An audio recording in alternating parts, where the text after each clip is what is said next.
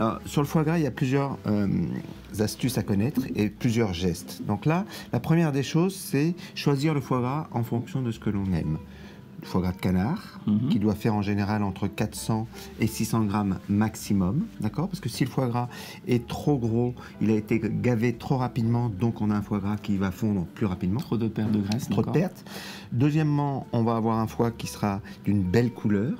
Donc en général, on compte euh, 16 à 18 jours de gavage. Donc ça, c'est un choix. Ça, c'est pour le foie gras euh, de canard. Après un foie gras d'oie, on est entre 800 et 1 kg. D'accord. D'accord 800 et 1 kg. Un foie un peu plus blanc pour d'autres utilisations. Après, c'est une histoire de goût. Moi, je préfère le foie gras de canard pour euh, voilà, un peu plus de caractère. D'accord. Ensuite, le choix. Donc, euh, euh, bon, faire confiance à son volailler, ça c'est Oui. une chose. Et on, on va le prendre de petite taille et on va le déveiner. Alors, première chose, avant de le déveiner, le laisser à température ambiante, d'accord? Parce qu'il faut le laisser naturellement à une température de 16 à 17 degrés pour pouvoir le déveiner correctement. D'accord. D'accord? Ensuite, on le verra par la suite dans la recette, on va le mettre dans de l'eau mais avec des glaçons pour qu'il y ait un choc thermique. Donc là, première des choses à faire, on va séparer les deux lobes. Alors comme on peut voir, il y a dans ma main gauche ici un gros lobe et ici un petit lobe. On va mettre le petit lobe de côté que l'on va travailler Mhm. tout à l'heure. Alors vous avez remarqué, j'ai arraché, je n'ai pas coupé volontairement. Ensuite, ce qui est important de savoir, c'est où se situent les veines. Première veine ici, à cet endroit-là, derrière le foie, et cette veine-là traverse tout le Tout foie. ouais. D'accord Tout le foie en traversant comme ça. Et la- le deuxième, ici, on la voit, c'est celle qui me permettait de tenir le petit lobe. D'accord. Elle est ici, on voit légèrement sanguinolente. Ensuite, vous le mettez sur une planche bien propre. Je veux dire la partie la plus épaisse ici, sur la droite si vous êtes droitier, Mhm. et la partie la plus fine sur la gauche. Très important de se positionner bien à la plat. On prend un couteau avec une lame longue, fine et légèrement souple. Donc un couteau de type filet de sol. Oui, filet de sol, mais pas trop souple non plus parce que si on n'a pas l'habitude, ça risquerait de donner des formes et d'abîmer le foie gras. Ensuite, bien à plat. Alors, vous remarquerez que on met sur la partie arrondie sur la planche, Oui. d'accord, et la partie. Oui. On va m'allumer le chalumeau, s'il vous plaît, Philippe. Très bien. Alors, on va chauffer légèrement la flamme. Il faut que le geste soit rapide et efficace. Et là, je me mets pour être très simple, je me mets au milieu, ici, au milieu de mon foie gras, d'accord? Et je maintiens avec ma main gauche. Et là, d'un geste simple, je vais le couper en ayant un mouvement régulier. Le fait d'avoir chauffé la lame, le foie gras n'accroche pas et c'est beaucoup plus rapide. Et là, je découvre tout le réseau de veines. D'accord. Vous voyez, vous avez toutes Oui. les petites Mhm. veines qui sont là, c'est très simple. On voit la qualité du foie parce qu'il n'y a pratiquement aucun hématome et on est sur un produit de belle qualité. Ensuite, toujours avec les mains, je vais travailler un peu le foie et là, on s'aperçoit, vous voyez, les veines, la veine principale qui est là, elle va traverser tout le foie et on va aller la chercher là et on va soulever cette veine en tirant. Regardez ça. Alors, on bien. on serre, on cède légèrement avec la main gauche pour tirer ici. Alors, pourquoi j'utilise un économe? Parce que ça évite de couper le foie, d'accord, et de l'abîmer. Je fais en sorte évidemment de garder les petits morceaux qui se détachent naturellement. Et là, comme mon foie est à bonne température, regardez, j'ai qu'à tirer comme ça, et les veines Se détache toute seule. se détachent toutes seules. C'est ce qu'on appelle déveiner. Donc ce qui m'importe sur le déveinage du foie gras, c'est de retirer cette veine principale. On peut le voir. Donc là, il est effectivement de très bonne qualité parce qu'il est bien blanc. Il y a des petits réseaux sanguins, mais qui ont peu d'importance. Ça, je garde de côté. Ensuite, avec l'économe, et c'est là où c'est important, et le pouce, je vais planter la pointe de l'économe ici. Si je les vois, vous voyez, on voit un petit réseau de veines, et je vais tirer dessus pour la retirer. Voilà. Et là, c'est très simple. C'est pas la peine d'aller plus loin. C'est pas la peine d'aller triturer le foie en tous les sens. Il faut juste retirer cette veine principale. Il faut préciser que c'est important de retirer ces veines parce que lorsque votre foie sera cuit, et que vous allez le trancher, si vous ne les avez pas retirés, ben, ça sera visible. Visible et surtout très désagréable au niveau du goût. hein. Donc là, vous voyez, on tire comme ça. Donc là, on a un foie et la veine principale qui a été retirée. Et là, surtout, on a un foie qui n'a pas été abîmé et maltraité. Mhm, D'accord. moins vous allez le toucher, moins il va fondre. Une fois qu'on a fait cette opération, on va préparer ce que l'on a déjà fait ici, un saladier avec des glaçons.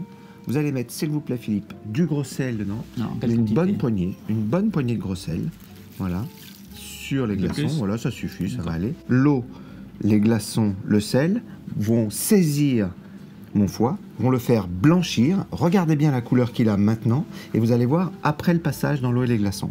Ça va le faire blanchir et ça va lui redonner une température de 2 à 3 degrés, ce qui est l'idéal pour pouvoir l'assaisonner après. D'accord. Ensuite, regardez sur celui-là, pareil. Donc là, il y avait la petite partie ici qui était attenante. Alors, évidemment, les petits bouts comme ça, on les met de côté et on les garde sans problème. Ici, j'ai la veine qui tient, La, qui tenait la l'autre seconde lobe. veine, oui. Donc on peut considérer qu'il y a, allez, deux tiers, un tiers. Je le retourne et je le mets sur la, fa- la, face, la, la partie coupée. Hop, je coupe là, pas complètement. Je fais juste une incision, d'accord? Et là, je fais, je dévisse D'accord. et mes deux morceaux Mhm. sont tenus Par la veine. par la veine. Maintenant, je pose les deux tiers sur la planche. Dans ma main droite, je tiens le tiers, tout en tirant vers la partie coupée. Mhm, Toujours. Je maintiens. faut que le geste soit simple. Je m'aide avec la main droite ou la main gauche. Et là, je tire des... Et regardez, regardez. Voilà, voilà. En a tout le réseau veineux qui se, qui se retire. Même les toutes petites euh, veines. D'accord. parce que j'étais à une bonne température. Si votre foie n'est pas complètement à température à cœur, ça peut arriver parce qu'on n'ose pas le laisser trop à l'extérieur, c'est pas grave, voyez. S'il y a des- du foie qui reste, on le retire des On veines délicatement et on le met ici On le et on verra ça tout sûr. à l'heure. Donc là, j'ai retiré ce côté-là. Pour l'autre partie, je le retourne et je tire toujours les veines du côté de la partie coupée. J'utilise mon fameux économe pour éviter de couper. Et là, regardez, pareil, pareil, c'est un vrai jeu d'enfant. Regardez ça si c'est beau. Et là, une fois que vous avez ce résultat, je peux vous assurer que vous avez un foie gras qui est bien déveiné. Et regardez, si je fais ça, on peut voir tout le réseau veineux ici qui est dégagé. Et il n'y a plus. Alors, effectivement, il peut rester des petites veines, mais ça n'a aucune importance. Le plus important, c'était D'accord. la plus grosse. Le deuxième lobe un est un petit peu différent. Alors, vous vous rappelez, quand j'ai tiré le petit lobe du gros lobe, j'ai fait en sorte de l'arracher, ne pas le couper, justement pour pas couper toutes ces veines. Là, je m'aide avec les doigts, mais délicatement, vous voyez, pour dégager les veines sans les couper. Ici, j'ai des morceaux, toujours, de foie, on ne sait jamais trop quoi en faire. Ils sont attachés, détachés. Avec mes pinces naturelles, ici, là, je vais, voilà, pareil, vous voyez, je vais pincer, je vais tirer, et, et entre mes doigts, les veines vont rester sur le lobe.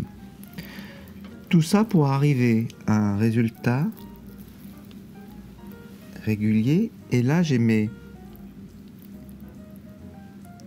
deux veines.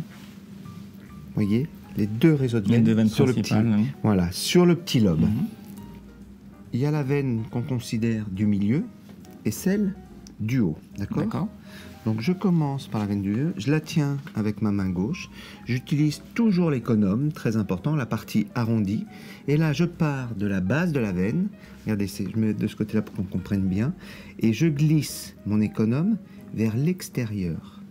Je décolle légèrement, vous voyez, comme ça. Je pars d'ici, je pars de la base, et je vais vers l'extérieur. C'est-à-dire que je, je, On dégage la je décolle, exactement, on décolle la partie, Afin de dégager la veine, c'est ça. voilà, afin de dégager la... Et vous allez voir, c'est le seul moyen de pouvoir retirer, et ne serait-ce que de faire ça, Ouais. juste décoller. On voit toutes ces va- ramifications. Je vais vous les montrer, ouais, exactement. D'accord. Donc là, vous voyez, le fait de faire ça, alors je suis parti de la veine du milieu, Celle du haut, pareil, je dégage légèrement. Alors, la température, vous voyez, elle est parfaite là de mon foie parce qu'elle est bien moelleuse. Voilà, là c'est le seul moyen de bien déveiner ce petit lobe. Et là, si j'y vais délicatement, vous voyez, ici la veine du milieu, et on les voit, c'est comme une, Ouais, ouais. Comme une racine. Une, racine. hein, ouais. D'accord. Maintenant, très simple, une fois que je les ai bien décollés. Alors, vous voyez, faut pas hésiter. Faut, quand vous êtes là, vous, c'est toujours si on gratte pas légèrement le Mm. dessus de la veine. Maintenant, ici, je prends ça, celle du milieu en premier, très important. Je m'aide avec la main gauche, toujours. Voilà, j'y vais délicatement. Et là, je tire dessus. Alors, vous voyez, j'y vais délicatement. Et là, par un petit à coup, Et tout s'enlève d'un coup. je peux vous dire vous avez retiré les veines. Et vous pourrez dire, c'est moi qui l'ai fait. Ensuite, j'ai commencé par celle du milieu. J'insiste, c'est très important. Maintenant, je vais m'occuper de celle du haut. Est-ce que vous savez pourquoi? Parce que celle du haut, eh ben, elle est maligne. Elle se glisse dessous. Ah, d'accord. Regardez, si je gratte légèrement celle ici, que l'on voit bien, regardez où est-ce qu'elle est. Regardez où est-ce qu'elle est. Elle est dessous. Donc là, je suis obligé d'aller un petit peu plus gratter. voyez? Et si je tire celle-là en premier, eh ben, je vais tout arracher Ouais, le réseau veineux. Donc là, pareil, une fois que j'ai décollé juste un peu, je prends la base et regardez ça. Comme elle est en dessous et j'ai dégagé le terrain, j'ai plus qu'à tirer sur cette veine. Voilà. Et voilà. Très bien. Sans trop l'avoir travaillé, on le met comme ça et je peux vous dire qu'un produit comme ça va beaucoup moins fondre et on va les laisser à peu près une demi-heure. Une demi-heure.